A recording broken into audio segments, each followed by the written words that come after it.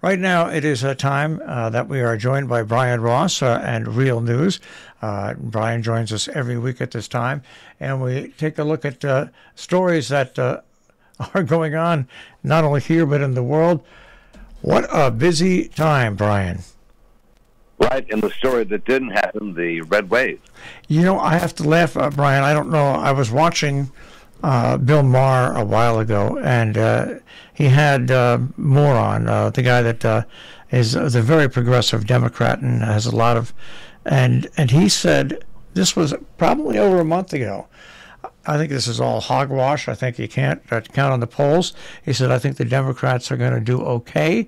Uh, they will lose some seats in the Congress, but I think they'll hold. I think they'll hold uh, the Senate. Uh, and I just don't believe all this red wave stuff. And uh, son of a gun, he turned out right once again. Uh, uh, pollsters uh, and politicians had it wrong. Well, exactly, and the politicians, of course, are basing on the pollsters, who did not somehow account for the the gender gap. Huge numbers of women made their voices heard at the polls. it surprised many people, and the old sort of sort of trademark uh, turnout, uh, you know, didn't happen. Somehow the Democrats had a better ground game than the Republicans. Uh, the Democrats lost some important some some important seats, but they've kept things close enough in the House. Well, they're going to have Republicans fighting amongst themselves. Uh, the bad thing about what's what's going on here is that uh, we're going to have no doubt about it two years of not much happening except maybe a budget passed. That's I, I don't I don't think anything else can happen. I think there'll be gridlock in Congress. Uh, many would say that's not such a bad thing, better than a uh, a runaway one side or the other. Uh, the Wall Street thought the Republicans were going to prevail. They were disappointed. You could see it in the stock prices dropping yesterday. But as you say, there's drama now inside the Republican Party. You thought the Democrats were in disarray uh, the uh, the Freedom uh, Caucus there in the Republican Party uh, is fighting against the potential Speaker uh, Kevin McCarthy, trying to figure out a way that either they get a lot of uh, key committee assignments from him and leadership posts, or they may not vote for him.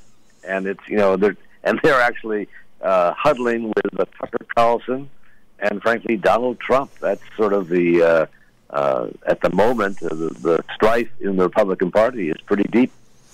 I think uh, the the person that had the best day was Ron DeSantis. I mean, really now he is in a prime position to take on Donald Trump. Uh, uh, Donald Trump uh, unwrapped uh, the disdain that has between the two of them a couple of weeks ago, and uh, and now Ron DeSantis really has positioned himself very well heading into the next two years.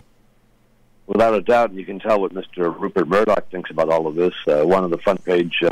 Post headlines was "The Future," the picture of DeSantis, and then the other uh, front page was a picture of uh, Trump called Toxic Don. Toxic Don.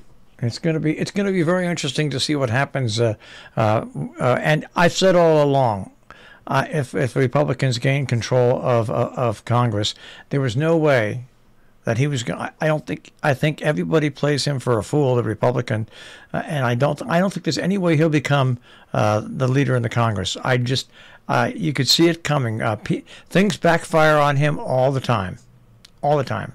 Well, and you know, if you look at what the Republicans, at least on the on the far right, what they really want is an investigation of Hunter Biden. Uh, is that anyway? Uh, is that is that governing? I mean, that's I guess that's something they can demand, and there's enough smoke there that you know somebody should be looking at it. But still, is that is that their biggest priority? Is investigating Hunter Biden?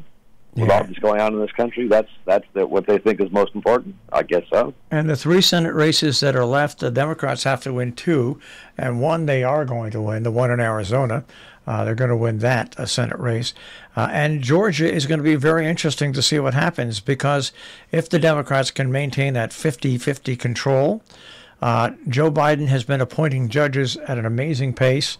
And if they ma- maintain that control, he'll be able to do that for the next two years, uh, putting that's judges. Exactly right. And yep. that's right now, uh, that's one of the most important things uh, for the Democrats uh, to look at and do is uh, is appoint as many judges as possible, uh, like Donald Trump did. Donald Trump did an outstanding job uh, for for his side and, and the number of judges he got appointed.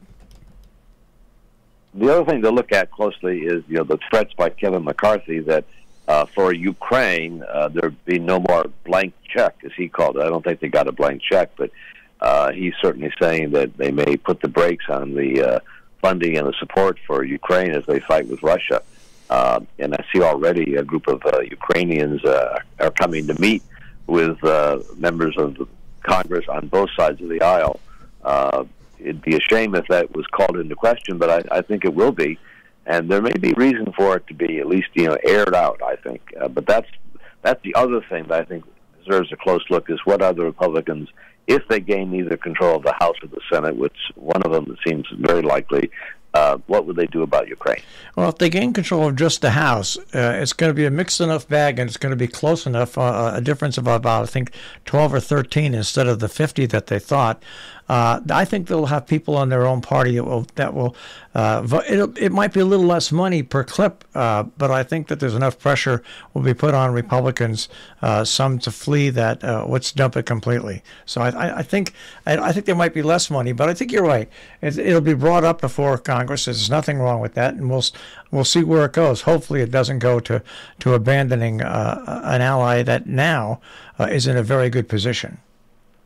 Right, and of course, one of the great powers of the Speaker or of the Senate Majority Leader is the ability uh, to whether or not to schedule votes on issues, so they can control uh, what goes to the floor, no matter what the votes there might be, and that's the real power. How how you control the the flow of proposed legislation and needed legislation, like the debt ceiling and uh, you know support for the military and support, frankly, for Ukraine. Getting back to Ukraine, uh, just amazing, uh, amazing heading into the winter. Uh, Russia is pulling troops uh, out of the main city uh, across the river uh, and leaving Kherson, which is the which is the city, the only major capital that they that they captured in the war, and which is part of the area which Russia just claimed as their territory. Uh, but the other real big story going along with that, and this is this is the sad part of war, and it's even sadder this time. Uh, the U.S. and Great Britain estimate that 100,000 lives have been lost by military personnel on each side in the Ukraine war. That's 200,000 people. Exactly, and that's that's the price of this folly by Putin, who apparently has finally gone along with the orders to pull out of that city, Kherson, as you say, across the river, going to the east uh, in, in advance, I guess, of the winter season, which can slow down the the attacks either way. Uh, but just think about that. You know, those are the military lives lost. How about the civilian lives and the disruption of that country? Uh, you know, no good has come of this whatsoever, other than exposing the, the Russian military to be a paper tiger and Putin to be, uh, you know, not out of his mind, but you know, he's so self-absorbed to launch this folly. Uh, the paper tiger uh, uh, analysis is, is, is so accurate, and uh, it, it will be interesting to see over the next several years uh, how Russia deals with this. Russia really has only one major selling point as a country, and that's natural gas. That's it. I mean, they're the world's largest gas station. Uh, and now that now we see that their military, except for their nuclear arms, uh, is is not what it once was uh, really puts. Uh, uh, I, this is one thing I don't think Vladimir Putin ever thought uh, they would see. It puts Russia uh, in in serious jeopardy, even trying to negotiate international deals. Well, as you say, the military in Russia. You know, we didn't know what it was. We had suspicions. I guess the U.S. intelligence had suspicions it wasn't all that it was cracked up to be, and certainly it's proven to be that, and exposes, I think, terribly for Putin of the weakness that he really of, of what he controls, other than as you say the uh, the, gas station and a few sort of uh, rare minerals. It's uh it's it's, it's It's amazing what uh, what three months in a war uh, can do, uh, and and what it shows you. Well, let's move back here to Connecticut. Uh, uh, Jahana she uh, she survived almost a million dollars in outside money coming into Connecticut to defeat her. She survived by 1,800 votes, um, but uh, and Republicans aren't the only one that put money into into into defeating uh, Democratic candidates. Uh, the Democratic National Committee did did the same thing with with.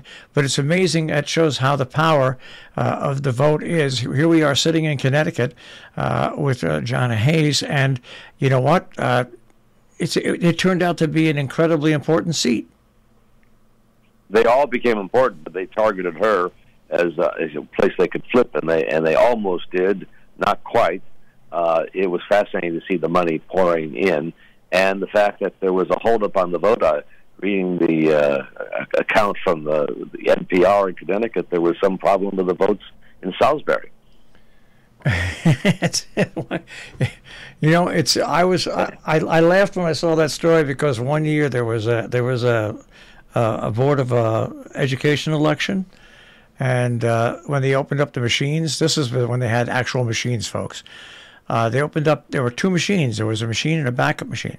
They opened the machines, and all the paper was just mangled. I I remember that it, it, was years ago, back when, like I said, when it was just manual machines. Uh, but uh, that was that was an incredible time. So uh, yeah, we'll have to see uh, and dig deeper into it and see what happened in Salisbury. But well, anyway, we're done with the election season, except for Georgia.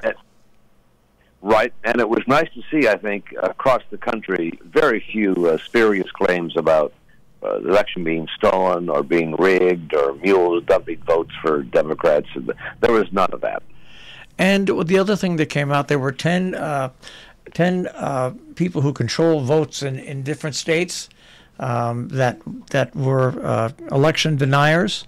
Uh, only two of them won. Uh, the other ones uh, all lost. Uh, and that is a good sign that maybe some civility and normality is returning into the minds of of people. It does restore your faith in America. Yeah. the the average guy saw through a lot of this noise. Pretty amazing. Well, we'll have to see what happens in Georgia. Do you think that it will you'll follow the it'll follow repeat what happened in 2020?